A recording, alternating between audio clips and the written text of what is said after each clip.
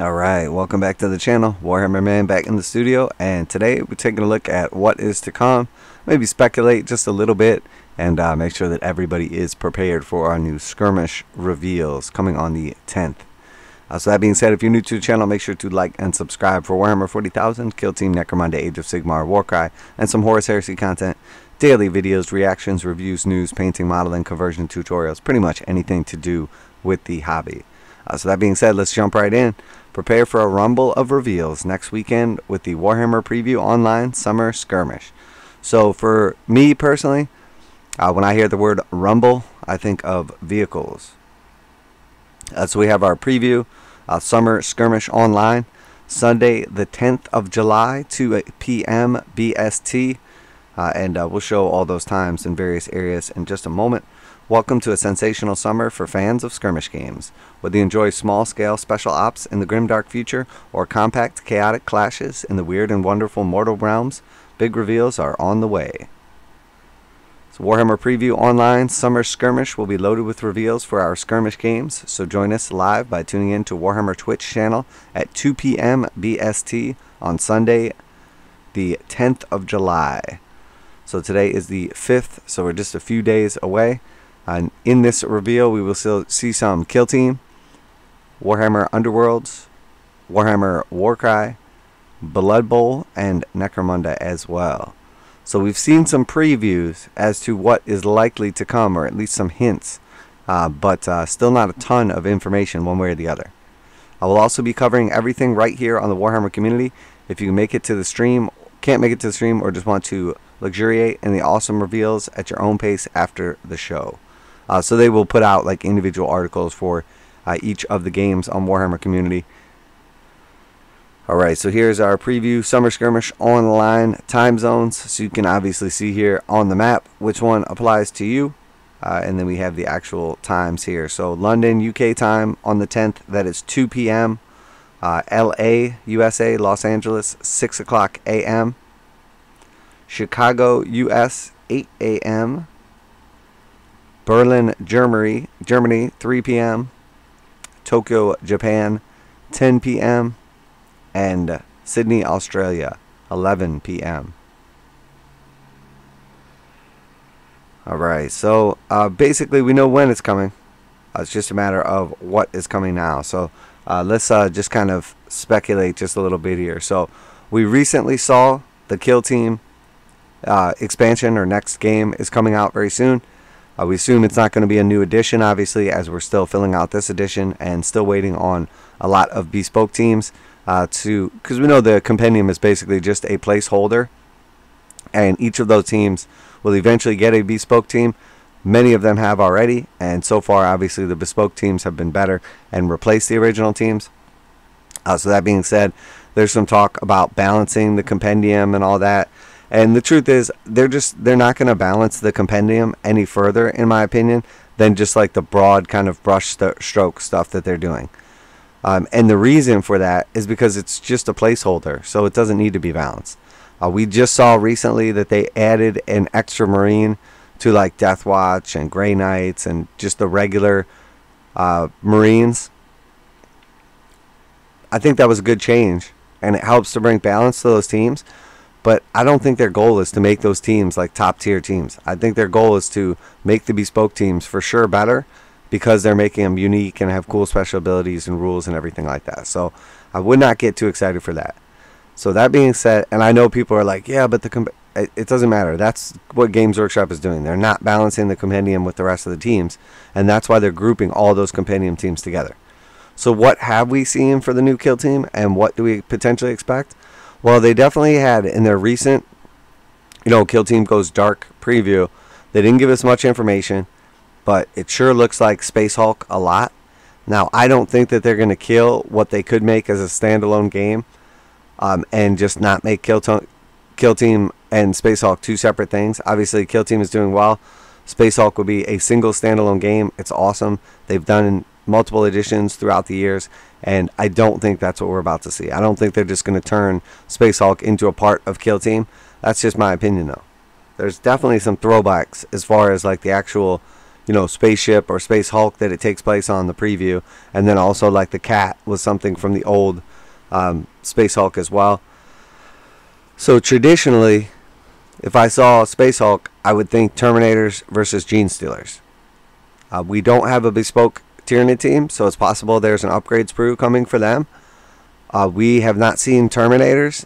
When you think about Terminators and Kill Team, it seems a little much, but realistically, they're pretty similar to Custodes. Uh, so if you can currently take a couple Custodes and a few Sisters of Silence, and that is, you know, theoretically like a balanced team or semi-balanced team, I think there's a possibility that we could see like two Terminators and then, you know, a bunch of Intercessors or Assault Intercessors or something like that. So there is a possibility for that. I don't think that that's what we're about to get, unfortunately. Um, it looks like I had speculated that it would be Elucidian Star Striders or something like that, maybe coming back. Uh, there has been some speculation as well. We see the base on the cat, the CAT, uh, little droid or little scout, and that base appears to match the Imperial Guard Kasrkins. So there is a possibility that we're going to see either a bespoke guard team or I don't think that's as likely just because we've already gotten vet guard. We already have the regular guard, including the, you know, stormtroopers or scions. So it seems less likely that that's the route they would go.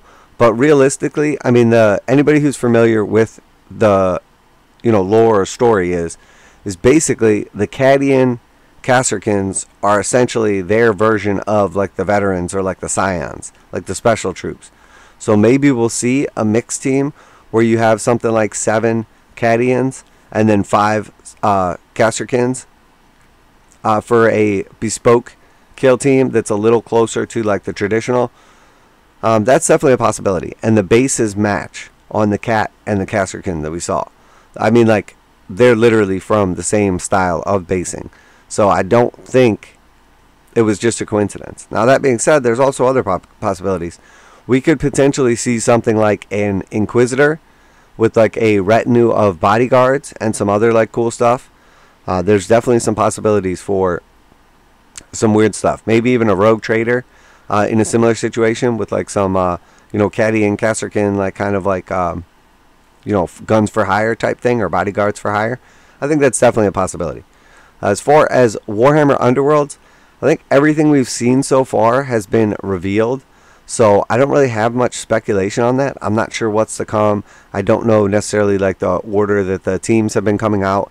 Uh, we have seen the most recent teams, and we know they have corresponded pretty, uh, pretty much with Warcry and Warcry's like new releases for like their uh, war bands. So maybe it will have something to do with either the most recent Warcry set or one to come.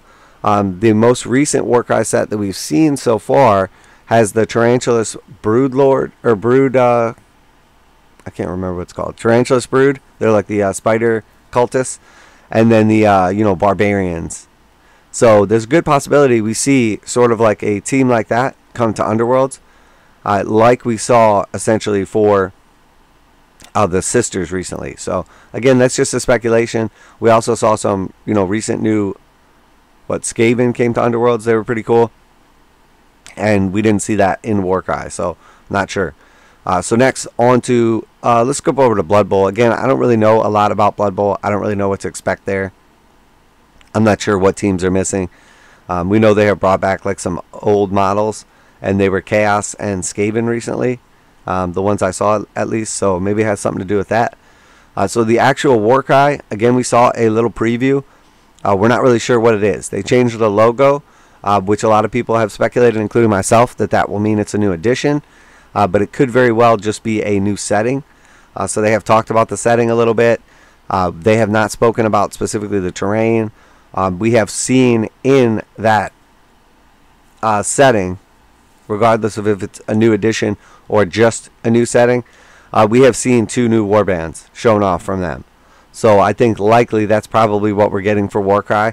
And typically, when we've seen two war guys coming out, uh, two war bands coming out at a time, it's because we're getting a new box game. So my speculation is that we see the two new war bands that were previewed, and we get them in a new box game, hopefully with like some organic terrain, like you know trees, woods, type stuff like that. Um, as we really need some stuff like that to kind of mix in uh, with the existing box sets of Warcry. I love the Warcry terrain so far.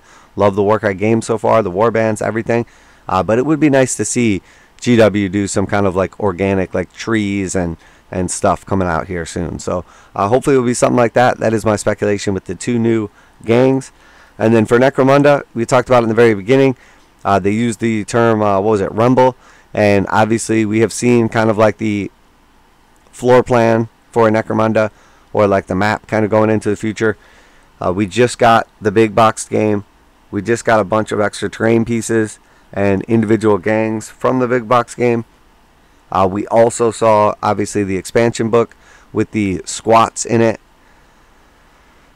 We've previewed a um, squat, like a uh, mining suit, I think it was called. So, what is coming next? I think most likely we're going to see more vehicles, possibly another book to go along with it. But I think we're definitely going to see some more vehicles. I expect that they're going to basically have at least one vehicle for every single faction. So I don't know who's going to be next. Uh, it seems like Escher typically gets things like first. Uh, Goliaths are also like kind of the staple of Necromunda. So possibly we see reveals for like Goliath and Escher.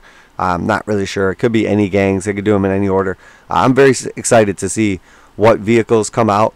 Um, as I don't really love the way that they've done the recent Necromunda reveals. Um, I think the price of the box set really hurt the possibility or probability of getting a bunch of new players into the game.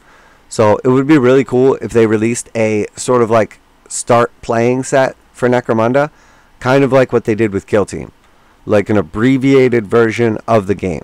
You know, just a couple small little gangs and a little bit of terrain and the rules. Just the bare minimum you need for like a hundred bucks. I think that would be by far the best possible thing that could be done for Necromunda because it will encourage new players to get into the game. Because one of the problems with Necromunda is it's not all that popular and it's also expensive to get into the game because there is a ton of books, a ton of rules, and a ton of different stuff and not a good source of information for what stuff you even need.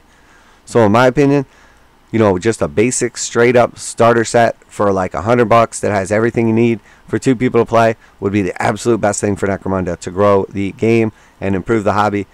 Um, so that is my speculation. I could be completely wrong on all of these. Obviously, a couple of them we have a little trickle of info, and I'm just speculating my own. Um, and then some of them I'm completely speculating. So let me know what you think down below. Are you excited? And then obviously make sure that you keep this map in mind. Make sure you know what time to tune in at. Uh, but regardless, uh, I will do some follow-up highlight videos, uh, reaction reviews myself.